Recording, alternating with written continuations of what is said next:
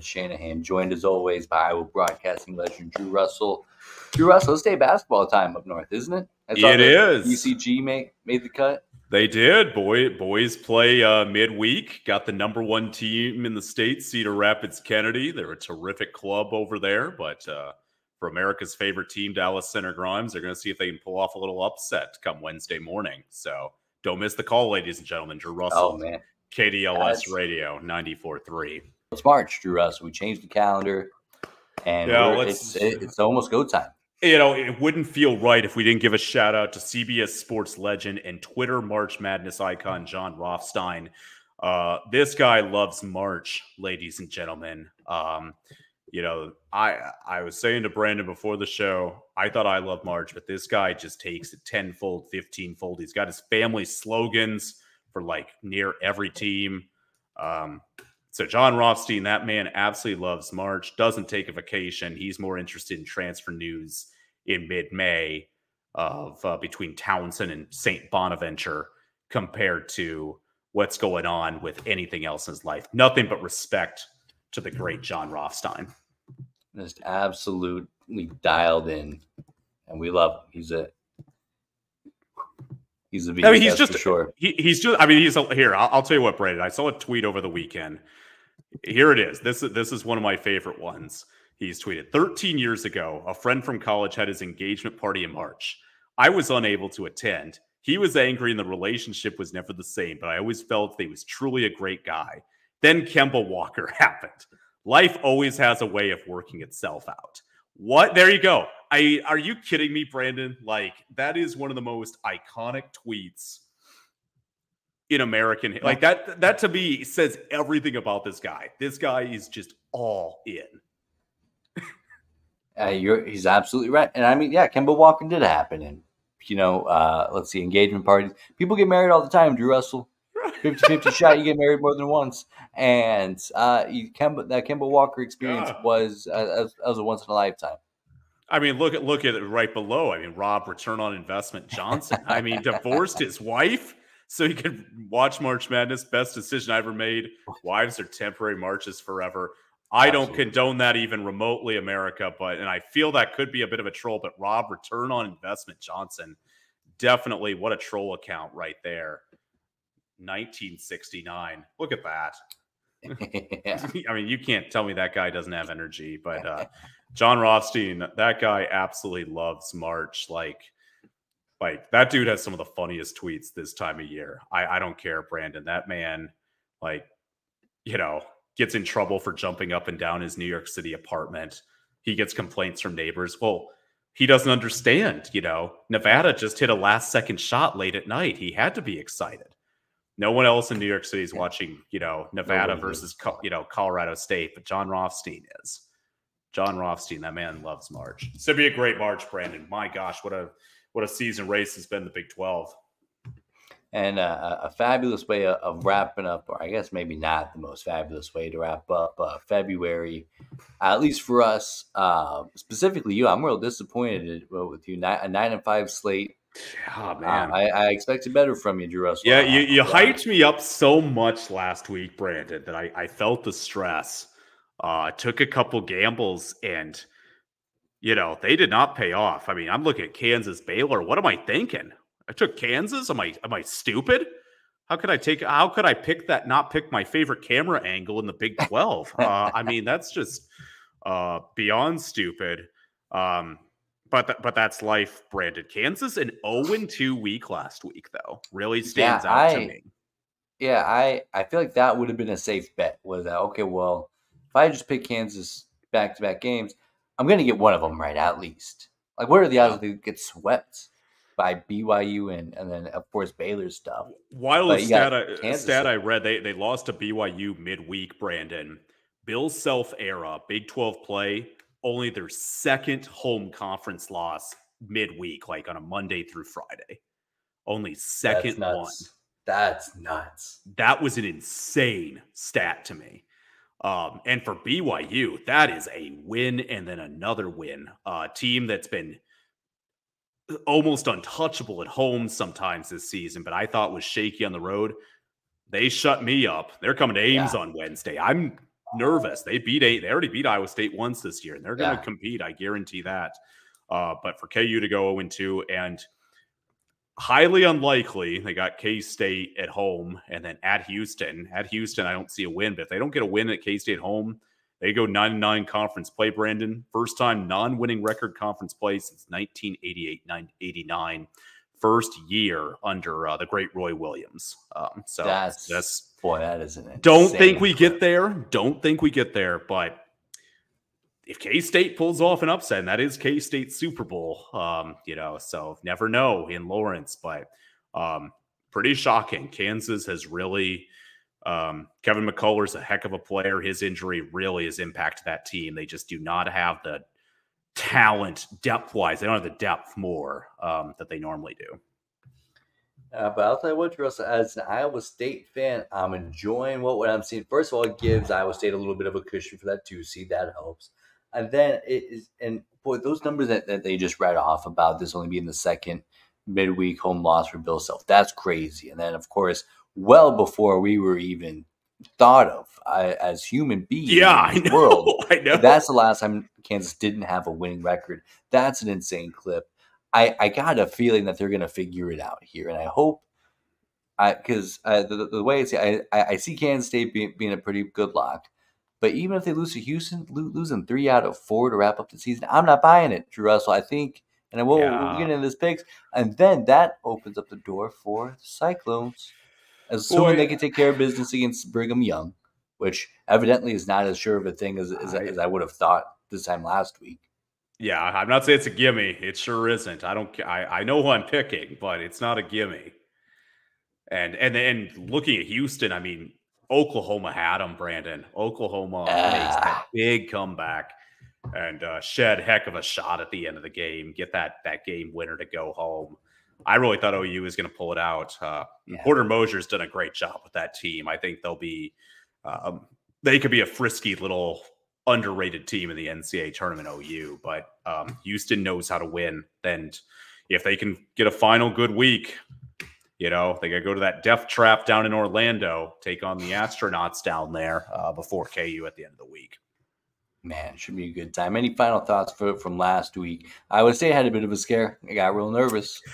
They did, but they took care. They found a way. Uh, UCF probably shouldn't be slamming the uh, court. That's kind of. Uh, I feel like that's against their motto. Iowa State goes on a quick uh, 10-0 run to end the game. So kind of a heck of a heck of a win for them. Uh, TCU, I, I do want to give TCU uh, a quick uh, run. They really disappointed me last Monday night um, against Baylor. Obviously, you got that game dead right. Baylor was on the road. TCU did not play well at home. That has been a problem for them all season. Um, the fact they lost it stunned me, but the way that they lost did. They got Yeah. blown out by Baylor. And for Baylor, pretty good week last week, Brandon, to go on the road against a rival and then to come back, beat Kansas. Bears are a heavily underrated team. I think their biggest thing that goes against them is um, they can't play in the South region if they're a top four seed because of because of Houston. Houston's going to be that Oh, number yeah. one team, uh, and so Baylor's going to have to go either west or you know they have to go to L.A., Detroit, or Boston. So pretty tough break for the Bears um, that they won't get that opportunity to potentially play in their home state. Yeah, I yeah, I hadn't even thought about that as far as that kind of uh, seating goes. Yeah, it, it- I mean, it is definitely just something that a little bit underrated um, regarding them, but um, you know that's something to keep an eye on. But um, Texas, they were able to put together a pretty nice week last week. Texas Tech, little incident down there, uh, Brandon. Those Texas Tech Yeah. fans, uh, they had to get their money's worth at the uh, end of that series, and that's putting it lightly. Um, so, but Texas, pretty good week. As much as it hurts me to say that, to go to Tech's a tough environment to play in and win. So, um, a lot of credit to them. Kansas State, that death spiral just continues. What a train wreck. I know they won Monday night in OT, but pretty listless loss against Cincinnati on Saturday. And your and I's uh, sickos game of the week. Uh, and it was a sickos game indeed. It was Lived up to the bill, Absolutely. that's for sure. Oh, it oh it sure did. So, uh, but final week going into the Big Twelve, and then Kansas City the next week. Brandon bracket coming up in less than two weeks. This is such a beautiful time of year. As good as it gets. Final week of the season, final week to, to pad our numbers here. I'm excited about it. Uh, going on, I think tonight, Texas Baylor in Waco. Mm-hmm. Uh, to, to, to, the Bears get the eternal regular season scoreboard? Well, I, I got to give it to Baylor. Um, I, I think Texas is playing really well. This is a really underrated game uh, in general. This is, but this will be a fun one. Baylor will be loud, but uh, yeah, I can't, I can't go against the Bears here. Yeah, I'm, I'm right there with you. I even if I thought that Texas was the better team, I wouldn't. I, okay, I wouldn't. It just at this time of year, like I, am probably gonna pick against Texas near every time, Brandon. I'm just gonna be very upfront about that right now. Yeah, I got one last week when, when I, I flipped my uh, my Texas Tech pick towards that, and I think that's that's plenty. Yeah, you smart smart play on smart play on paper, Brandon. But uh, you know, I, I lost respect a little bit that day. Uh, I was like, man, Brandon Shanahan picked picked those Stuff. those those frauds on Sixth Street down in Austin. Stuff.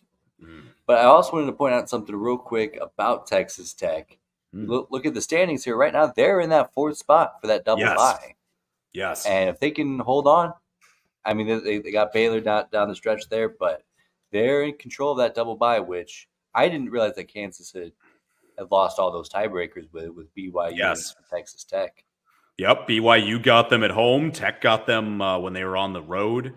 Um, unless KU can have a 2 0 week, which I think would be miraculous. I'll have to dig into the numbers for our pod next week, Brandon, but I don't think in Big 12 history KU's ever been lower than a 4 seed in the conference That's tournament. Nice. I feel I feel pretty good saying that. Uh, I'll have to check the 90s and early thousands uh, numbers, but last 20 years there's I mean they've always won it. They're always the one yeah. seed. So I mean there's no reason uh, but if they got to play, you know, on a Wednesday, that is for me unheard of. That doesn't happen for that, KU basketball. Yeah. So it'll be interesting. Uh, but it's a heck of accomplishment. I mean, Houston, I remember back in November, we were talking about what are teams to keep an eye on for this Big 12 season. You and I, we were, didn't do bad, Brandon. We both said Houston.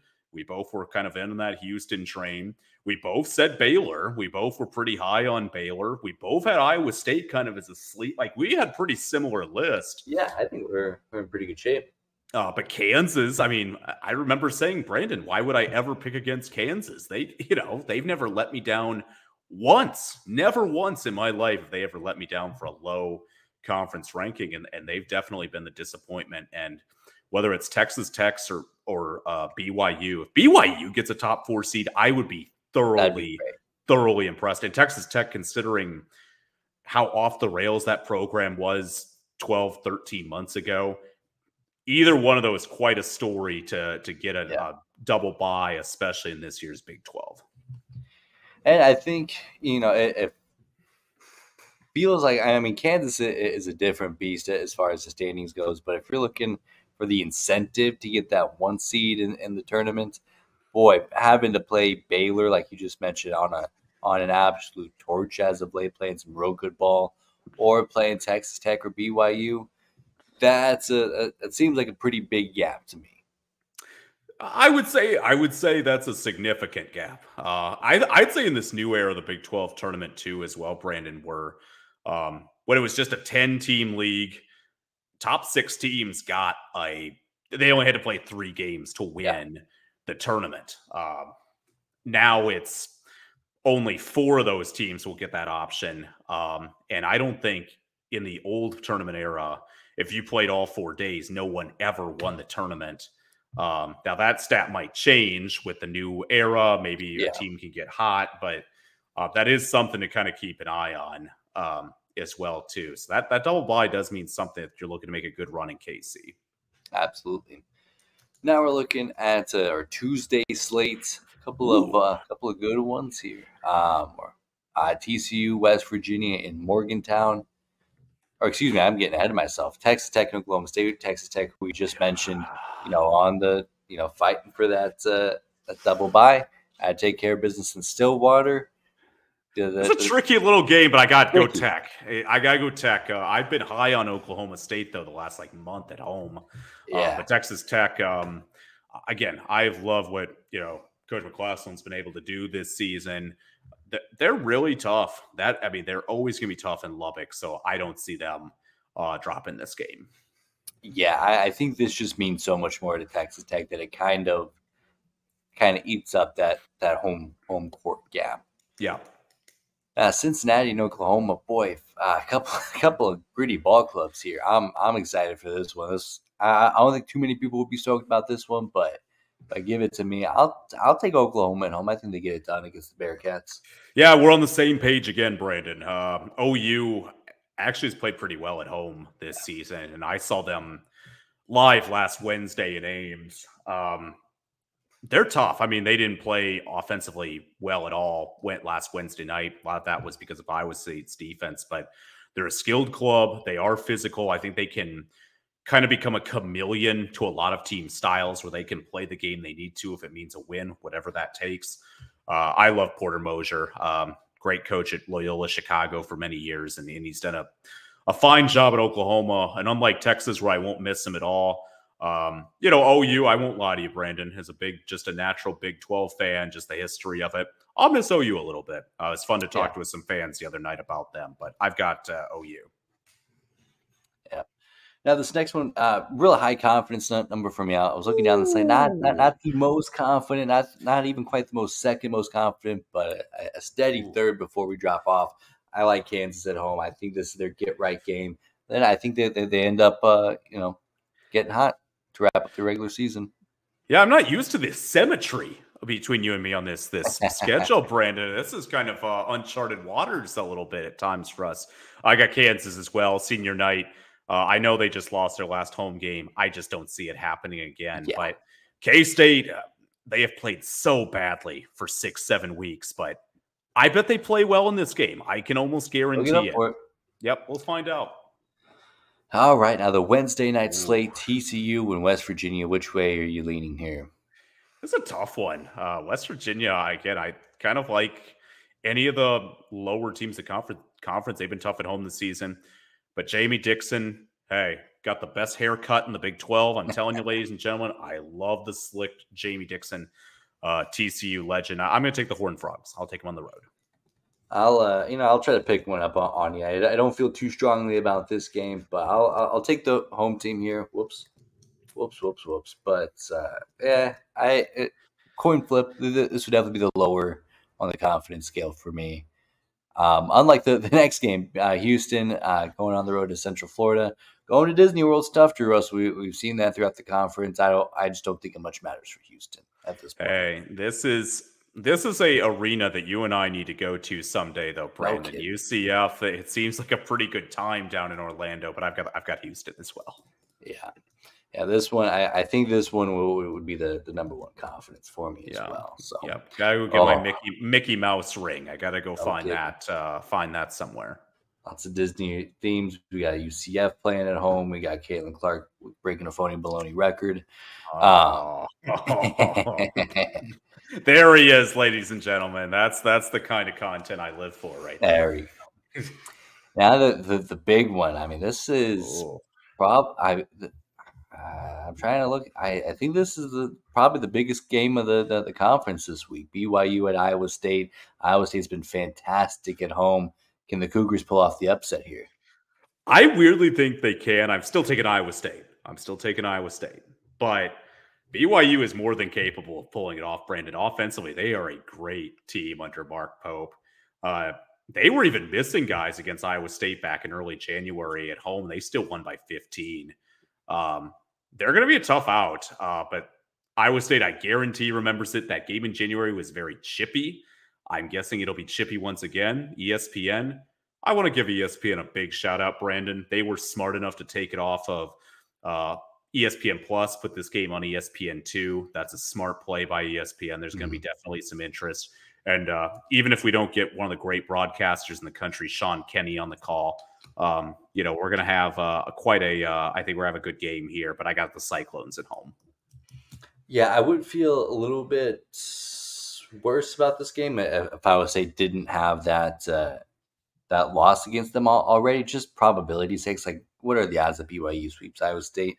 I I'll take the Cougars here. Eh, it's just my entire time knowing Iowa State, it, it feels like well when things are going too good, it just this feels like the, the perfect letdown spot for them. They got the undefeated home home streak going on. This just feels like it feels like they're they're due. Brandon Shanahan understands the mentality of an Iowa State fan perfectly, ladies and gentlemen. I couldn't put it better myself. Oh my gosh. Uh, then moving on to, to the big Saturday, Iowa State and Kansas State. I do think the clones bounce back and, and, and they hang on to that uh, that two spot in the conference and, and beat up on Kansas State. I, I hope uh, the athletic department does what they uh, what they need to do to get Jim Carey out there, get him a spot behind the Kansas State bench, and you know let let, let, let him have it. But it's funny, Brandon. Similar to the KU game, I think K State will play fantastic in this game. Maybe being as a petrified Iowa State fan, um, Iowa State's going to play with a lot of energy in this game, um, and maybe the coaching staff will try to downplay it a little bit, say it's not a big deal. But those players are going to remember what was said a couple months ago. I think their energy will be great. I think K State has the advantage clearly at home, but uh, you know I wouldn't be surprised they get a bounce back. But I, uh, based on principle, you know, when you're you're going to make comments about cheating and then never, you know, clarify them at all, yeah. it was just left out there like a big matzo ball. Uh, come on, I, I cannot take. I, I gotta take Iowa down the road. I don't care, yeah. Brandon. Uh, I and put the pressure on Houston to force them to win uh, their final game of the oh. season to be outright champs. Force them, win this game, force, force them to do it. So yeah, yeah. I mean, the, the, the, cheating stuff was was very silly to me. I mean, it's not like you're you're playing a team that you know has their coach suspended for 25 percent of the season in a in a in a championship season. Uh, you know, that that would be crazy. That would be all right. You got to give K State some credit there. Not the case here.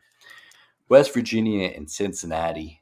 How you feeling about this one? This is our, uh, this our sickos game of the week. Absolutely. Sound the siren, ladies and gentlemen. we need to get a siren or some kind of a bell because uh, this is for this is viewer discretion advised for your retinas. And I've got to say, Brandon, this is a uh, this is the Bob Huggins Classic. This is what we'll officially call this game going forward. Um, I've got Cincinnati at home um, just because West Virginia's been pretty putrid on the road. I don't have a ton of confidence, but I'll go Cincy uh, at home. Yeah, I'm I'm right there with you. I, I just don't have much much faith in, in West Virginia. I, I mean, even picking them against TCU feels like a stretch for me, but uh, you know, you got to pick up a, a game here or there. So now the the final uh, regular season Red River game, Oklahoma yeah. and Texas. Texas, uh, tough.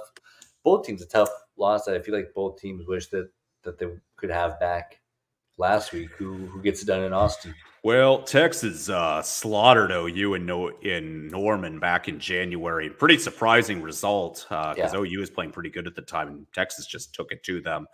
Uh, tough game, Brandon. Um, and I know Oklahoma hasn't inspired a ton of confidence on the road, but – I won't pick them. Uh, i hope Boomer Sooner finds a way to get down the road. This is not a logic pick. This is more of a hatred pick. Uh, so I'm going to take OU on the road. Yeah, and I'll. Uh, I probably would have gone the opposite with you, anyways. If you put the pressure on me, you, you made me make the routine play, and, and I'll, I'll, make it. I don't feel great about uh, you know picking for Texas, but I, I mean, we looking at the record down here. I mean, that's a that's a tough slate. That is. A, I, is that really that bad? No, that number is not that bad. Yeah, that yeah. It's like you're only down yeah, like four. You're only down yeah. like four games. Yeah, that's, that's I, I prefer that number though. If we want to keep that, give me a game advantage right there. I'm all in on that. Yeah, like wait a minute. Even even my spreadsheet. Uh, yeah. Well, well I gotta respect. You know, I gotta you know making the routine play, Brandon, is a smart decision. It's it's how Derek Jeter got in the Hall of Fame. He just made the he hit the routine singles and he made the routine plays at short. He had one jump throw that he did like twice in his career, and people lost their mind. Uh, and that made him a Hall of Famer, a first ballot one. Where if you put him on the Twins, uh, this guy's considered a nice player that's forgotten about all, uh, ultimately. Yeah, I mean, you, you, know what they say about the MLB uh, Hall of Fame, Drew Russell. It's uh, not always a, a hall. Of, it's not the, the Hall of Great. It's not the Hall of Spectacular. It's the mm. it's the Hall of Mediocrity. Derek Jeter, first I, you know, he's he, he's the epitome of it. Almost almost a unanimous pick, and that's that's the only reason I can think of that it would be even close to unanimous.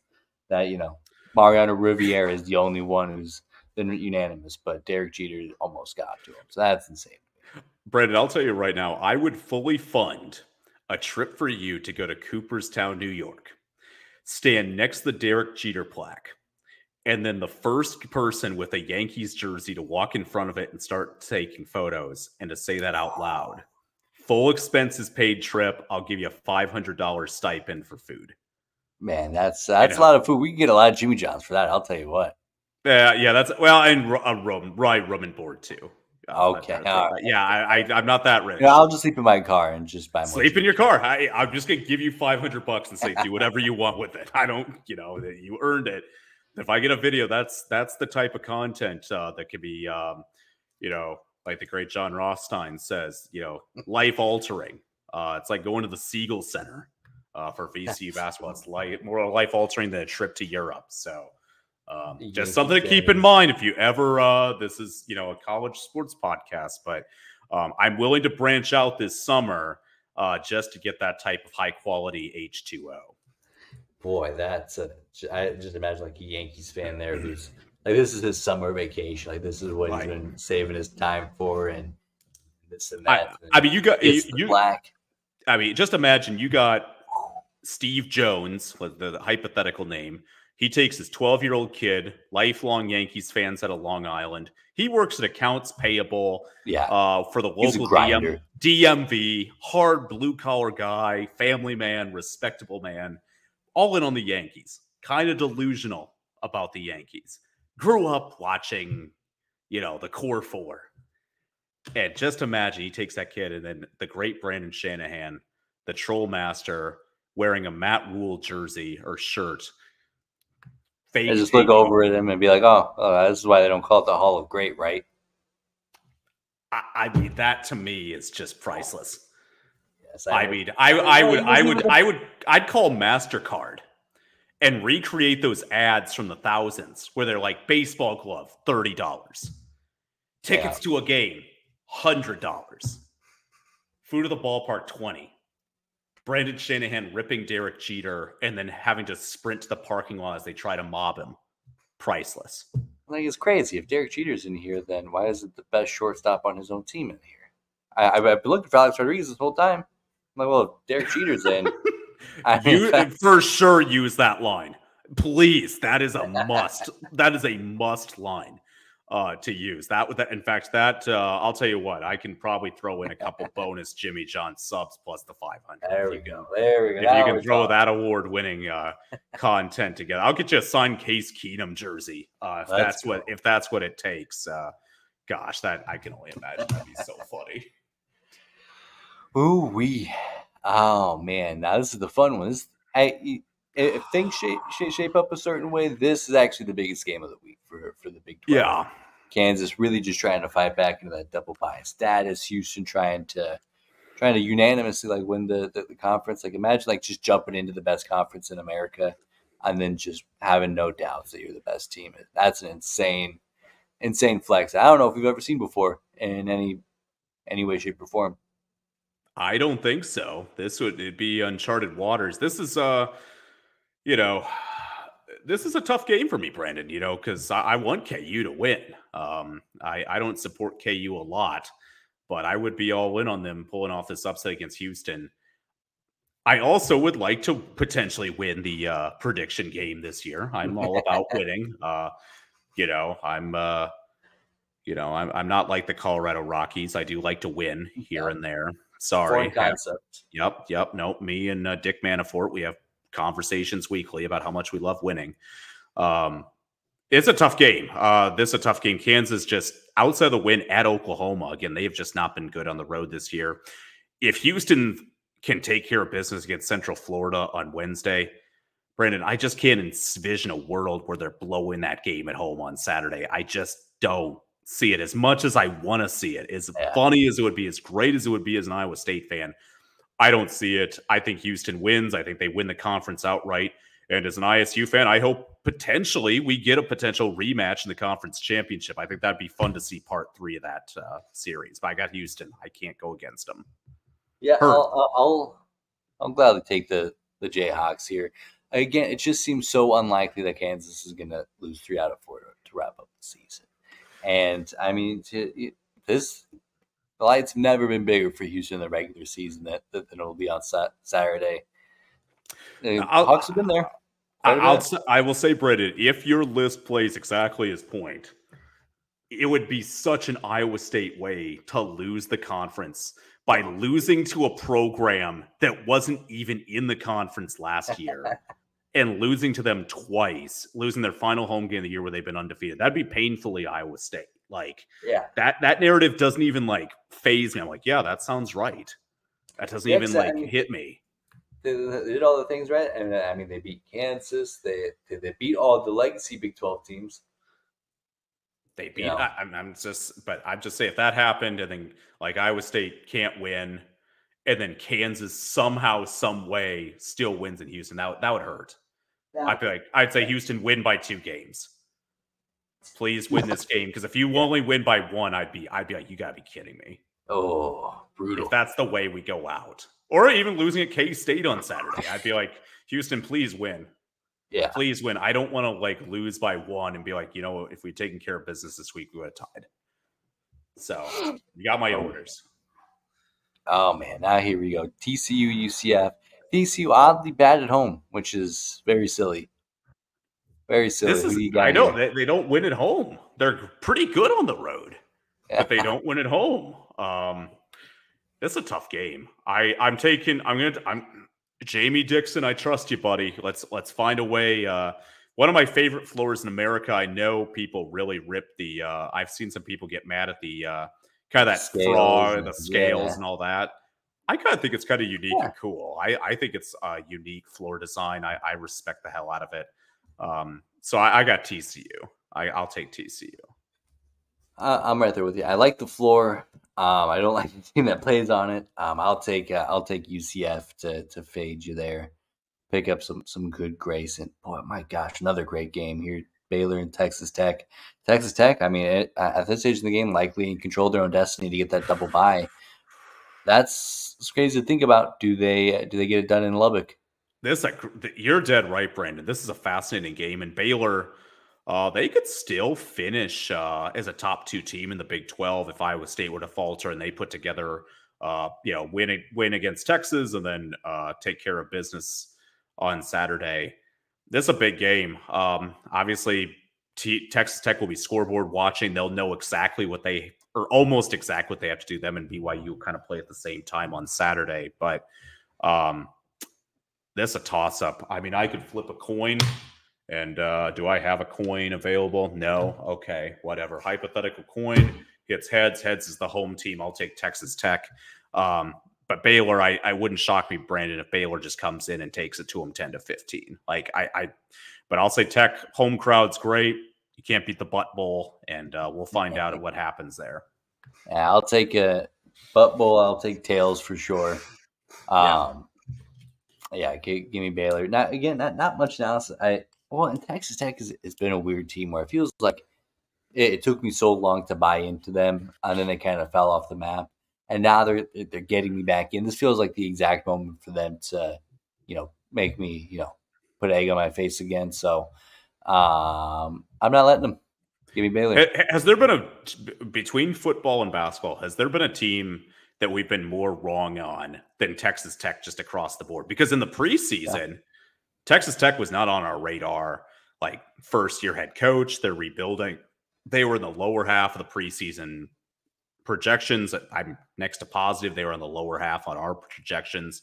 They've made us look bad. Like I feel like every time we're either like, "Hey, go Texas Tech," or like, "Nah, they're out." Then they just say, "You know what? We're going to do the opposite of what yeah.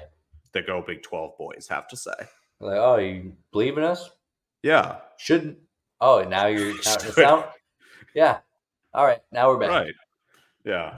That's some and top tier. Like, yeah, we're at the, the top at top of the, the hill before they start to, to fall down. That's that's some top tier hating from them. Yeah. I, I, I think I can only respect it at this juncture. a lot of respect. yeah, I, I can only respect it. I, I, love me some Texas Tech too. So I mean, it's a it's a it's a bitter it's a very uh, bittersweet relationship. That's for sure. Uh, no question about it. They got a great baseball program. I mean, I will Yeah. dig a little bit, not probably heavy in the spring, but with college baseball. But they got a great uh, baseball program in Lubbock. TCU 12 and 0, top five team in the country. Their their longest uh, winning streak to start the season in school history. Man, they got a good history too. I'm going to study up on some Big 12 baseball, Brendan. Iowa State doesn't have a team, so I historically, I'll be frank, have not watched a ton outside of maybe some conference tourney and, and NCAA tourney. I'm digging in this year. We're gonna we're gonna really dig into some Big 12 baseball. I'm looking forward to it. It is crazy that Iowa State doesn't have a baseball team. What's up with that? Hey, Have you been to Iowa in the spring, Brandon? Uh, I mean, it's you know, I, I I don't know how else to put it. Like in the north, like baseball, you can't really. I mean, if you're trying to play outdoors, like you can't do it on a regular basis. I, well, I, I mean, the whole Big Ten has fields all their teams. They do, but I mean, it's still like it's never above like 50 traditionally. Traditionally, this Yeah, well, I- yeah, I- but I mean, it's usually cold. Yeah, I mean, the, the, the formula is you know you spend a lot of your non-conference traveling California, Texas, Florida, Yeah, no, and then I- by the time it warms up, you get into conference play. And there's some good fields up north. I mean, from a college perspective, um, I'll, I'll give a shout out to your Huskers. They have a great, great Yeah. baseball field. Um, for one of the best in the Big Ten, if not the best, um, in the Big Ten. But there's some what, like for example, University of Minnesota. They'll play at U.S. Bank Stadium, home of the Vikings. And I don't know if you've ever seen that field, Brandon, but it is a work of art when they convert it to a baseball field. Uh, it's like the Metrodome on steroids. Uh, it's Yeah. a beautiful, beautiful thing. Uh, but yeah, Iowa State, no baseball since the late 90s. They didn't have the budget and the money for it, was losing a lot of money, and they, they gutted it. And, you know, I get it. They didn't have high attendance, but, you know, maybe one day. So. Yeah. Maybe one day. All right. Well, we wrap up the regular season here with Oklahoma State and BYU. Exactly how I wouldn't want to wrap up this uh, this regular season any other way. Oklahoma State and BYU. I think BYU clears. I, this might even be like my second highest confident game. Um, but yeah, just two Big Twelve powers going at it. I have I feel extremely confident in my pre- in my prediction of BYU over Oklahoma State. Um, you know, I, I think for Oklahoma State, you and I will be tracking kind of the Mike Boynton hot stove and what happens there with his status in the coming weeks. Um, they'll make that call. His teams are playing, I think, very hard. Um, but you got to have wins too, so it'll be interesting to see. But BYU, this will be kind of a coronation of a, a great season. Hopefully, coming off a loss and uh, end the year strongly, and they might be playing for a double bye. If they pull off that upset of names on on Wednesday, Brandon, they're going to have They'll a the double bye in Kansas City. They'll have that double bye more than likely. They'll have a strong shot. So, um, Yeah. man, what a slate! That this is a good week. This is a really Yeah. strong week of hoops. This might be this is a top three week we've had, and considering the stakes, it might be number one. I mean, I'll tell you what, you Russell. This is March. It, it sure is. I mean, can't be beat. It, it absolutely can't be beat. Uh, conference tourneys this week. You and I are in the thick of high school stuff. Uh, it really is. Uh, NBA and the professional games a special place, such great talent, but there is nothing hoops wise like these ne- this next month. There really isn't, and I'd even say sports wise. Uh, you might have to fire some music. I don't know how what Jon Rothstein means. We got to come up with in the next week, but um, it's a great year. Great year. See see Fran McCaffery have a meltdown. That's always usually my my favorite time of year.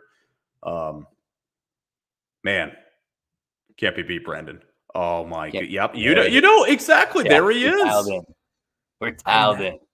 Doesn't I I mean, mean- just look at his eyes. He's he he's got nothing behind him other than ball. That's it. I mean, this guy went on like a 10 minute rant on his podcast about why there's a leap day because it kept a day away from getting to March. I mean, who does that, Brandon?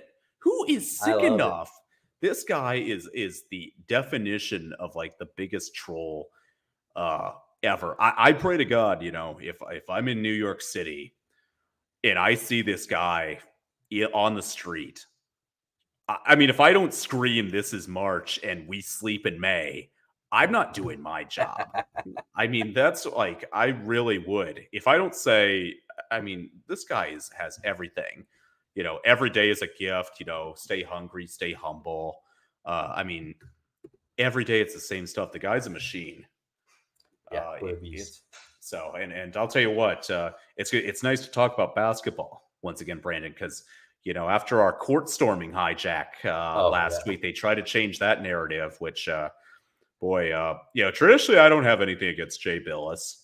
Uh, I do this time. Jay Bilas Yeah. and his court storming deal. That dude.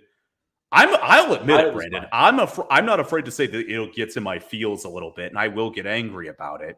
This dude goes on multiple shows, including one of the world's biggest podcasts. I saw the clip uh, through Barstool's "Pardon My Take," and this dude is like doubling, tripling down about why it's bad for college sports. He's like, he said, "I don't even care. I don't even care." He keeps saying that over and over. I'm like, dude, you Yeah. do. You clearly do. Yeah. It's okay to admit you care. Like, even if you disagree with an opinion, I'd prefer you say, "Well, I do care." Like, you can't say that, go on a long rant, and then say, "Well, I don't care though how it happens." Like, so uh, it's nice though, and, and shout out to Kyle Filipowski. I mean, you know, I I was going to give the ESPY for comeback player of the year to you know like a Damar Hamlin or somebody like that, Brandon. Uh, but after Filipowski, after that tough injury, uh, to come back and do a windmill dunk a week later, that really shows the true grit and determination that that Yeah. young man had at Duke. I'm without a doubt. I mean, Man, and, and and my thing is is that it's it's a constant stream of like Duke players who are defending this. So I I'm just so curious, like in another universe, if, if it was a North Carolina player we got involved, like does Jay Bilas still pound his chest for it? I'm I'm not sure, which is a problem. I agree. I agree. Well, Jay Bilas is a lawyer, as he likes to say, so he knows everything. brings that up quite a bit. Um, Yeah, he does know it all. But you're right. I mean, if this happens to a kid, uh, I don't know if it's Ole Miss, Alabama. Al- Ole Miss upsets Alabama, and Ole Miss fans rush the court. Happens to a Bama player, gets a little bit of coverage, not near the coverage that this got. Um, Yeah. Frankly, in that discussion, we talked about it last week. Probably not two bigger players or worse players that that could have happened to this year, like the top women's player and then a Duke player on the Yeah. men's game. Like that literally could not have built a script better. Like the script makers, like were like, we could, you know, it would be interesting if, Yeah. if uh, people were complaining about court storming. That that that would be interesting. Good night. Absolutely right. Good, good. night. Gee. Perfect, Drew Russell. We got a great week ahead of us. Any final thoughts before we wrap up? Yeah, no, uh, I mean, um, you know, a rest in peace. Uh, this is I've seen everywhere to on ESPN last couple days. ESPN, whatever you think of the network, um, Chris Mortensen, a very legendary uh, NFL reporter, uh, passed away yesterday um, on Sunday, and you know, as a big of a pro as you can get from a reporter standpoint, outstanding reporter. Um, I know, however you feel about ESPN these days, um, Mortensen always was a consummate professional, day in and day out. He had terrific news. Um, from a sports industry standpoint, I think one of the innovators of just how NFL news and professional sports news was distributed on on major TV. Um, so rest in peace to Chris Mortensen. Nothing but positive things. So uh, that's that's what I got, Brandon Shanahan.